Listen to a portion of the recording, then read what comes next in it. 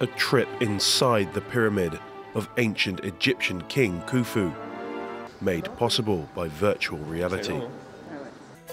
The Arab World Institute in Paris is now offering an immersive tour of some of the wonders of ancient Egypt. Called the Horizon of Khufu, visitors are transported back 4,500 years inside the pyramid of the ancient king, who is generally accepted to have been the one to commission the construction of the Great Pyramids.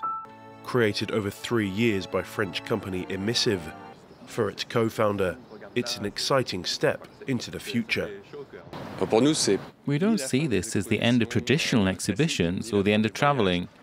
Immersive expeditions are something new. They're complementary to everything else.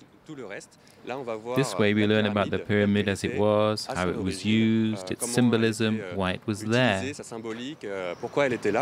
For those taking part in the tour, the experience is unforgettable. It's absolutely extraordinary because when we went to Egypt in real life, I didn't go into the pyramid of Khufu, but here we enter the pyramid. It gives us a totally different perspective. This kind of immersion is exceptional. The virtual side, the emotional side that it awakens, and all these senses that come into play. In fact, it's indescribable. You have to live it to realize it. Each tour lasts 45 minutes, with the exhibition due to run up until October.